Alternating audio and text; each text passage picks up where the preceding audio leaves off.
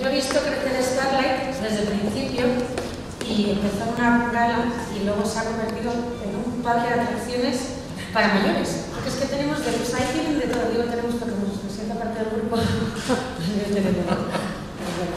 Entonces, eh, pues tiene una parte cultural también añadida, con distintos, eh, con, bueno, no sé, con artistas por todas partes. Yo creo que es el sitio donde hay que ir a ver, a dejarse ver y a disfrutar. Y no hay que perderse.